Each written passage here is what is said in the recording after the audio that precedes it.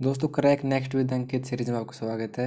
यही सीरीज़ का fifth chart है और इस वीडियो के अंदर हम जो आपका न्यूरोलॉजी है, उससे जो हाइलिंग टॉपिक हैं, उनसे आपके कुछ हाइलिंग एम सी क्यू आपके बार बार रिपीट होते हैं पूछे गए आप नीट पीजी के अंदर। वो इस वीडियो को मैं डिस्क करने वाला हूँ। इस वीडियो में ये भी देखेंगे क्वेश्चन कैसे आते हैं और कैसे उनको टैकल करना है, ठीक है?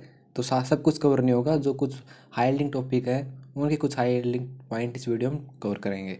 इससे पहले हम जो आपका रिस्पेरेटरी सिस्टम और कार्डियोवास्कुलर सिस्टम ऑलरेडी डिस्कस कर चुके हैं, चार चार्ट की हेल्प से तो इसको जूम करते हैं और स्टार्ट करते हैं। तो सबसे पहले आता है दोस्तों ई के बारे में। ई के बारे में आपके, आपको सबसे पहले ये पता होना चाहिए, आपके तीन वेव होती हैं अल्फ़ा आपकी जब आई क्लोज होती है उस टाइम प्रजेंट आपको ई के अंदर दिखाएगी। आई ओपन है तो बीटा दिखाएगी। इनकी फ्रिक्वेंसी अल्फ़ा की एटीन ए टू थर्टीन होती है, ये आपकी थर्टीन टू ट्वेंटी होती है। उसके बाद थर्टी के बाद आपका गामा तो ये आपका जो, ये होती है थर्टी टू हंड्रेड ये जब हम प्रॉब्लम सॉल्विंग जो कंडीशन होती है ना, उसमें आपका प्रेजेंट होती है। तो ये तो अभी नॉर्मल बात। तो इनके, क्या आपको कुछ कंडीशन आती हैं जिसमें कुछ चेंज आता है? उससे पहले आपको स्लीप के बारे में कुछ पता होना चाहिए। तो स्टेज है, N R M one, two, three. उसके अंदर वन के अंदर अल्फ़ा एंड थीटा रहती है, सेकंड के अंदर U wave and sleep spindle मिलते हैं। और इसके अंदर डेल्टा, ठीक है? ये ज़्यादा इतनी इंपॉर्टेंट नहीं लेकिन इसके जो आपकी इम्पोर्टेंट है, आपके कुछ कंडीशन में इसके चेंज। तो नंबर वन कंडीशन आती है variant C J D. C J D मतलब जो क्रूड फेल्ड जैकॉब्स डिज़ीज़ होती है, जो एक ब्रांड डिज़ीज़ होती है वो आपकी एक कंडीशन आती है। इसमें आपके जो पीरियोडिक शार्प वेव कॉम्प्लेक्स मिलेंगे, ठीक है? ई e के अंदर। यदि ये आपको ऑप्शन के अंदर है तो आपको ध्यान इस पर जाना चाहिए। वैसे यदि आपकी कोमा की कंडीशन है तो आपको ब्रश प्रेशन पैटर्न मिलेगा ई के अंदर। ठीक है? कई बार आपको क्वेश्चन में ये कीवर्ड ढूँढने होते हैं। उसके बाद आपका आपका आता है जे एम ई मतलब जूलाइन माइक्लोनिक एपिलेप्सी इसके अंदर जो एक स्पाइक होती है ना ईजी के अंदर, वो होती है फोर टू सिक्स हर्ट्स के ऊपर, ठीक है? जब भी आपको पिक्चर के पिक्चर में या क्वेश्चन के अंदर ये आपको स्पाइक पिक के अंदर ऑप्शन मिले फोर टू सिक्स हर्ट्स तो आपका दिमाग जाना चाहिए जे की और उसके बाद ऐसे ही आपका अपसेंट सीजर होता है ना, उसके अंदर थ्री पर सेकंड स्पाइक और आपका स्लो वेव पर मिलेंगे आपको ईजी के अंदर। यदि आपको ये कीवर्ड मिलता है या ये आपको पिक्चर के अंदर दिखता है तो ऑप्शन सीजर का केस होगा। ऐसे ही इनफाइंटल स्पाजम होता है इन्फेंटाइल उसके अंदर एक आपको पैटर्न का नाम होता है, उसे बोलते हैं हाइपस अरिथमिया पैटर्न ठीक है? ये आपका पैटर्न होता है इन्फेंटल स्पाजम का, जिसका ट्रीटमेंट होता है ए सी टी एच ये ए सी टी एच के ऊपर भी किसी पूछा जाता है। ऐसे ही हम बात हुई तो हम इनमें कैसे डिफ्रेंशिएट करेंगे? तो माइक्लोनस दे रखा माइक्लोनस का ऑप्शन है एज दे रखी लेस देन वन ईयर तो वो केस होगा इन्फेंटल स्पाजम का। यदि एट ईयर का इसके राउंड है और न्यूरो डिजनरेशन का केस है तो केस होगा वो सब एक्यूट स्क्लेरोसिस आपका panencephalitis S S P E यदि एज दे रखी दस से उन्नीस ईयर तो वो केस होगा जे एम ई का। यदि ओल्ड एज है thirty five year with myoclonus and dementia तो वो केस होगा वी सी जे डी मतलब ये वाला वेरिएंट सी जे डी ठीक है, ये आपको देखने हैं कैसे क्वेश्चन को टैकल करना है। उसके बाद आता है सीजर के बारे में कुछ इंपॉर्टेंट पॉइंट दोस्तों। सबसे इंपॉर्टेंट पॉइंट इसके ड्रग ऑफ़ चॉइस से कई बार क्वेश्चन रिपीट होता है। तो कैसे याद करोगे आप? जो आपको एटोनिक है माइक्लोनिक है एबसेंसीजर है। उसके अंदर जो वालप्रोइड ड्रग ऑफ़ चॉइस होती है। यदि age less than four year है तो इथोसेक्सोमाइड आपकी ड्रग ऑफ़ चॉइस होगी। फेबरल सीजर के अंदर दो कंडीशन आती हैं। एक तो जब एपिसोड हो एक्यूडिक प्रोफाइलेक्सिस एपिसोड के अंदर इंट्रानेजल मिडाजोलम और रेक्टर डाइजेपाम यूज़ करते हैं ड्रग ऑफ़ चॉइस के रूप में, और प्रोफाइलेक्सिस के अंदर ओरल क्लोबा जाम ठीक है? ऐसे इन्फेंटल स्पाजम की drug of choice A C T H होती है। आपका आइस मतलब infantile spasm in tuberous sclerosis इसमें vigabatrin drug of choice होगी।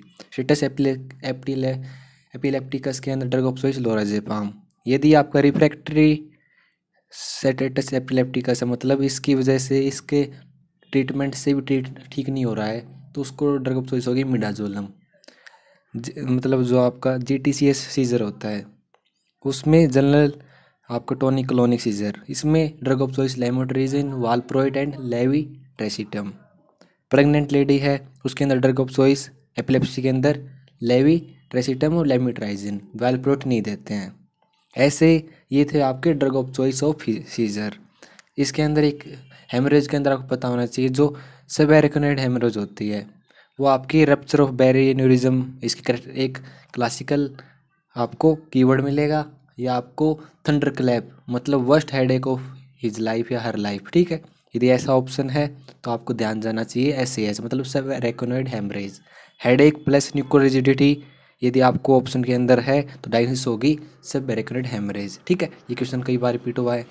इसके बाद आता है दोस्तों मैनेंजाइटिस मैनेंजाइटिस का आपको कैसे पता चलेगा कि टीबी वाला मैनेंजाइटिस टीबी की वजह से है वायरल की वजह से है गुलन बेल सिंड्रोम की वजह से है? तो उसकी कुछ करेक्टरिस्टिक पता होनी चाहिए। टीबी की मैनेंजाइटिस के अंदर कलर तो आपको सी सब का रहेगा स्ट्रा कलर्ड लेकिन इसके अंदर लिपोसाइटोसिस और प्रोटीन का अमाउंट बढ़ता है। ठीक है, ये दोनों मिलते हैं तो आपको ध्यान बाकी कुछ लिंक फीचर के साथ साथ इस पर जाना चाहिए। वायरल के अंदर शुगर नॉर्मल रहता है प्रोटीन बढ़ता है लिम्पोसाइटोसिस ठीक है? यहाँ पर एक नॉर्मल शुगर एक्स्ट्रा पॉइंट आ गया, जो आपको वायरल मेनिजाइटिस को पहचानने में हेल्प करेगा। ऐसे ही गुलनबेरी सिंड्रोम होता है, उसके अंदर आपका डिसोसिएशन एल्बुमिनो साइटोलॉजिकल डिसोसिएशन होता है, इसके अंदर शुगर नॉर्मल रहेगा। लेकिन जो सेल काउंट है ना, वो भी नॉर्मल रहेगा। तो इसमें साइटोसिस था इसके अंदर नॉर्मल है। प्रोटीन इसके अंदर भी बढ़ेगा। एक जेंथोक्रोमिसिस होता है सेवरेक्टेड हेमरेज के अंदर, जब आपका case more than twenty four hour का केस हो। उसके बाद कुछ बात आती है न्यूरोपोटेंशियल डिसऑर्डर की। नंबर वन आता है tuber tuberous sclerosis tuber sclerosis एक ऑटो ऑटोसोमल डोमिनेंट कंडीशन आती है दोस्तों। ये आपकी एक क्यूटेनियस इसके देखिए बहुत सारी मैनिफेस्टेशन होती हैं। क्यूटेनियस हो सकती है न्यूरोलॉजिकल हो सकती है। तो आपको पता होना चाहिए, जिससे आपको ऑप्शन के अंदर बहुत सारे मतलब क्लिनिकल फीचर मिलेंगे डिज़ीज़ मिलेंगी एसोसिएशन मिलेंगे। तो क्यूटेनियस एसोसिएशन होगा एस लेफ मैक्यूल और आपका सैगरन पैच ये आपकी क्यूटेनियस फीचर है। न्यूरोलॉजिकल के अंदर infantile spasm focal seizure subependymal astro astrocytoma ये आपकी न्यूरोलॉजिकल मैनिफेस्टेशन है ट्यूबरस स्क्लेरोसिस की। उसके बाद आता है दोस्तों स्ट्रज वेबर सिंड्रोम इसके अंदर कौन से कौन से फीचर मिलेंगे देखिए? Seizure port Y port wine stain आपका क्यूटेनियस फीचर है सीजर आपका न्यूरोलॉजिस्ट फीचर है एमआरआई के अंदर आपका ट्रैम्पस्टैक एपियरेंस और रे, रे, रेल रोड कैल्सिफिकेशन आपको मिलेगा। ऐसे ही आपका न्यूरोफाइब्रोमेटोसिस वन और टू के अंदर कुछ फीचर पता होना चाहिए। इसके अंदर ओसिशन होता है pheochromocytoma optic glioma कैफ्यूल्यूट café au lait, macule, more than five हो, और आपका एक्जली फ्रैकलिंग। ये आपकी फीचर है न्यूरोफाइब्रोमेटिस वन, टू के अंदर एक्वेस्टिक न्यूरोमा, एक क्लासिकल एसोसिएशन होता है। ठीक है, आपको डायरेक्ट किससे क्वेश्चन सोल्व होंगे। कैसे देखिए मैं आपको बता देता हूँ। जैसे क्वेश्चन आता है कि बहुत सारे ऑप्शन दे रखे हैं तो उसके अंदर एक क्वेस्टिक न्यूरोमा का केस दे रखा है कि ही आल्सो हैज़ ये क्वेस्टिक न्यूरोमा। तो उसमें से आपको और इसके रिगार्डिंग और कुछ फीचर देगा। तो मतलब मेन पॉइंट मैंने लिखा है यहाँ पर, ठीक है? उसके अलावा एक कुछ डायरेक्ट वन लाइनर है कि वेबर सिंड्रोम के अंदर आपका third nerve palsy plus hemiplegia होता है। ऐसे ही आपका जो नॉर्थ थंगल सिंड्रोम होता है, उसके अंदर third nerve palsy plus contralateral ataxia मिलेगा। बेनेटिक सिंड्रोम के अंदर third nerve palsy plus chorea मिलेगा। ठीक है? थर्ड नर्व पॉलिसी कॉमन है, लेकिन ये सिर्फ़ एक फीचर आपके सिंड्रोम का नाम चेंज कर दे रही हैं। तो आपको पता होना चाहिए। क्लाउड के अंदर third nerve palsy plus ataxia and chorea दोनों। मिलाइड गुबर सिंड्रोम के अंदर six and seventh nerve involvement होता है साथ साथ हेमीप्लेजिया या अल्टरने अल्टरनेटिंग हेमीप्लेजिया मिलेगा।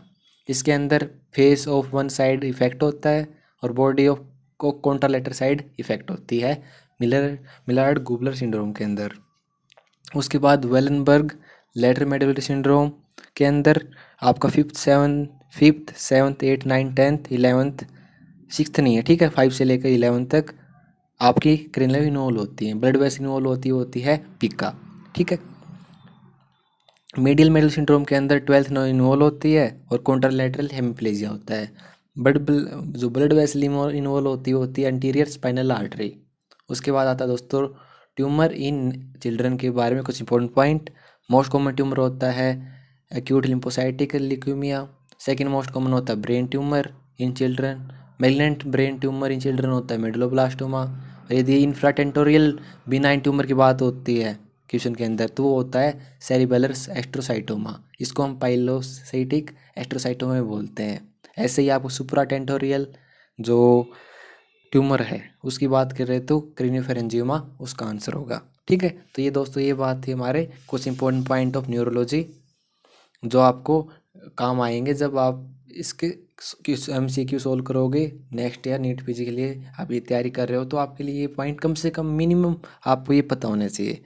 बाकी भी आपके कुछ इंपॉर्टेंट पॉइंट वो भी हम कवर करेंगे धीरे धीरे तो और आप रिस्पायरेटरी सिस्टम और आपका कार्डियोवैस्कुलर सिस्टम के मैं ऑलरेडी चार चार्ट डिस्कस कर चुका हूँ ऐसे ही और उनके लगभग मैंने सारे टॉपिक डिस्कस किए थे। तो आप वो एक प्ले लिस्ट है चैनल पे करेक्ट नेक्स्ट विद अंकित उसमें आप जाके चेक कर सकते हो, देख सकते हो।